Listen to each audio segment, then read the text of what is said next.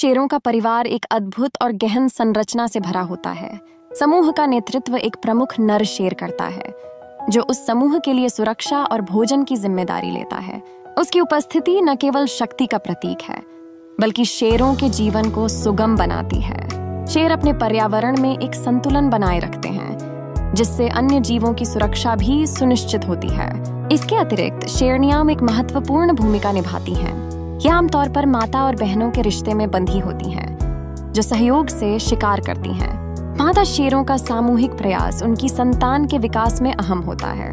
जब शेरनियाँ मिलकर शिकार करती हैं तो न केवल वे अपने लिए भोजन खोजती हैं, बल्कि यह भी सुनिश्चित करती हैं कि उनके बच्चे सुरक्षित और स्वस्थ रहें। शेरों के बच्चे जो जीवन के पहले महीनों में बेहद कमज़ोर होते हैं, समूह में अपनी माँ का संरक्षण पाते हैं।